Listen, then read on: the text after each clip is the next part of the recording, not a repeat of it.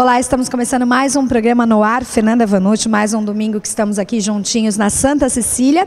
E eu quero lembrar você dos nossos horários de apresentação do programa, que é todo domingo às 17 horas, com reprise aos sábados, às 13h30, também na Santa Cecília. Lembrando você que o nosso programa também passa diariamente na TV Com em horários alternativos. E esses horários, é claro, você encontra lá no blog fernandavanucci.blogspot.com. Através do blog você também pode rever o programa de hoje e outros programas que já passaram aqui no programa no ar.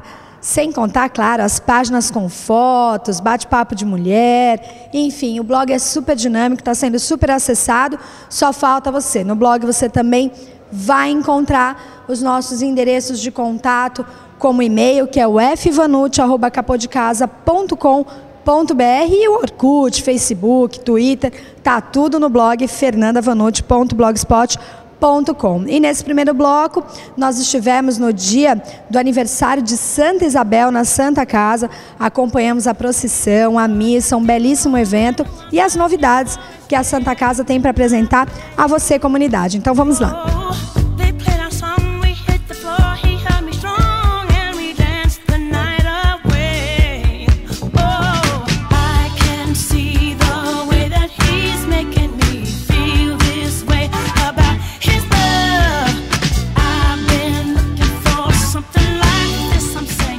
Representando a querida amiga Janete, que infelizmente agora não pôde estar aqui conosco, seu adjunto Gonçalves, que vai estar falando um pouquinho para a gente nesse dia tão especial desse grupo de voluntários, né, amarelinhos. É, seu adjunto, qual é a emoção de mais um ano comemorando o dia de Santa Isabel aqui na Santa Casa?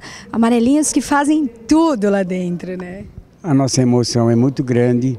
Todo ano essa festa é realizada cada vez com mais amor, com esta procissão para agradecer aos doentes, aos médicos que operam, ao provedor, à mesa administrativa. Eu sou amarelinho. Na Santa Casa existem mais voluntários do que nós. Nós somos os que todo mundo chama de amarelinhos. Nós temos também as cor-de-rosas, que são do câncer. Nós temos as verdinhas, que são do controle de qualidade. O nosso trabalho é muito grande. Nós fazemos, como eu disse primeiramente, nós fazemos de tudo.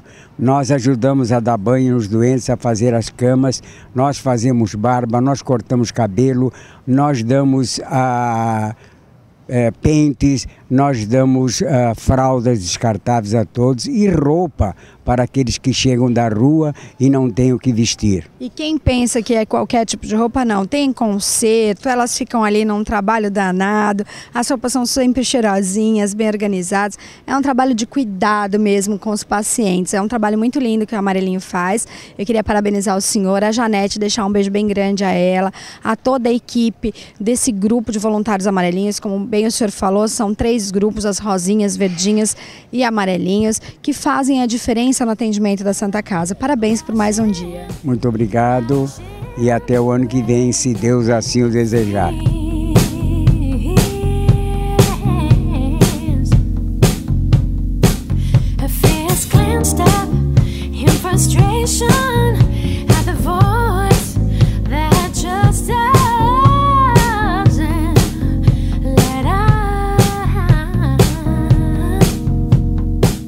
Eu estou ao lado da Ana Maria e da Miriam, ela que é coordenadora e a vice-coordenadora do controle de qualidade As Verdinhas da Santa Casa, né? Ô Ana, eu queria primeiro parabenizar mais um ano de Dia de Santa Isabel, né?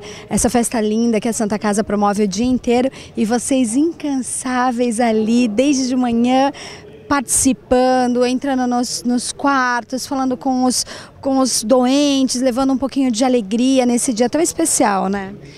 É, mais um ano de Santa Isabel, graças a Deus, estamos presentes, nosso voluntariado. E hoje foi um dia especial para a gente, porque fizemos a premiação dos três funcionários que mais se destacaram no semestre. E estamos também lançando a campanha da gentileza.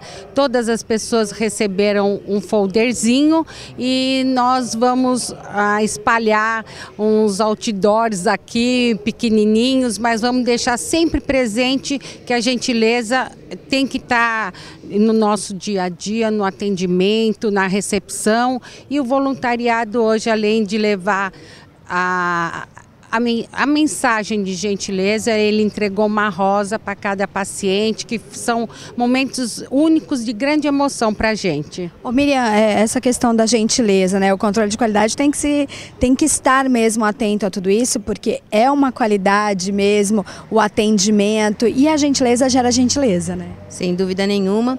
É um momento muito bonito dentro da instituição e nós podemos dizer que nós estamos iniciando essa campanha com o coração aberto, esperando que realmente a gentileza se pratique integralmente dentro do nosso hospital. Como sempre, a Santa Casa lançando grandes campanhas. Você é uma amiga querida, Miriam também. Queria que você falasse um pouquinho do controle de qualidade, a comissão de controle de qualidade, como que está?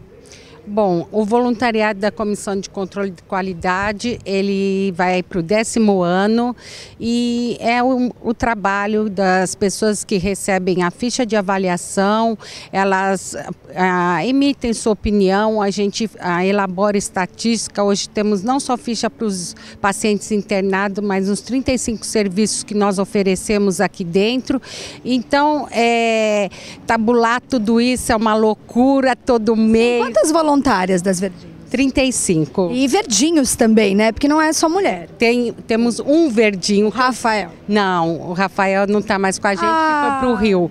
Mas o Arnaldo, que é o nosso secretário-geral. Foi substituído por mais um verdinho. Vocês Isso. não ficam sem um verdinho. Um verdinho, porque sempre tem que ter um homem para fazer a força, né? É verdade, impor o, aquela condição ali, né, de que para pôr ordem na bagunça, é, né? As mulheres é. a gente sempre dá aquela passada por cima, mas no controle de qualidade não tem isso. Não tem isso não. Todo mundo é general lá dentro. Ah, é, todo mundo é meio general, mas sempre é por um bem maior. A gente só pensa na instituição e a gente trabalha mesmo é para o nosso cliente, naquilo que ele precisa, seja na parte física que ele está internado, seja uma necessidade de um encontro com médico, nutrição, enfermagem. Então nós estamos das 8 às 17 horas com a porta aberta no terceiro andar a C.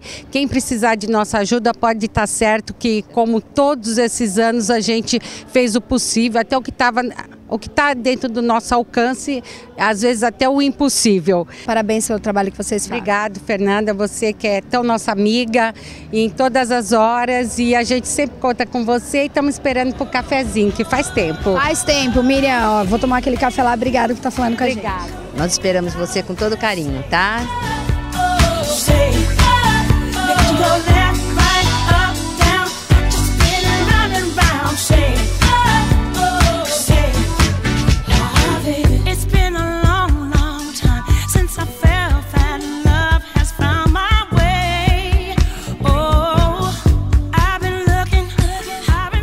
Seu Manuel Lourenço das Neves, esse grande amigo, hoje em dia de festa na Santa Casa, comemorando mais um aniversário.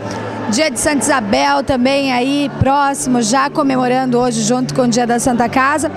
Queria que o senhor falasse um pouquinho pra gente do dia de hoje, que foi um dia tão especial, com festa logo cedo, inauguração de, da Casa de Apoio. Tivemos, tivemos um dia cheio, com a graça e proteção nossa Senhora.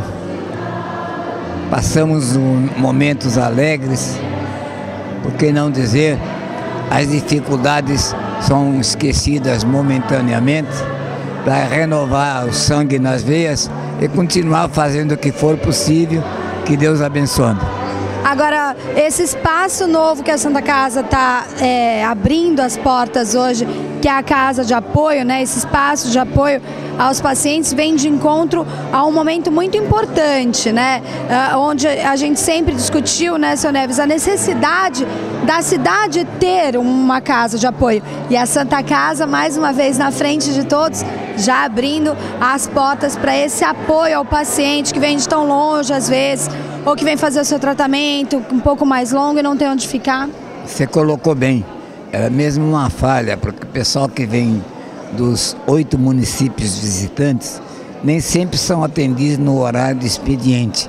Madrugadas e madrugadas passa-se aqui, entanto, para não se perder a, a ordem da fila, e assim tem onde ficar. No dia seguinte amanhece tudo pronto, vai na condução que veio. Estamos aguardando para o futuro uma, uma sequência de equipamentos que foram comprados Já estamos com algumas cabines prontas, que você viu também. E assim a gente vai levando a vida com a graça de Deus e a proteção de Nossa Senhora.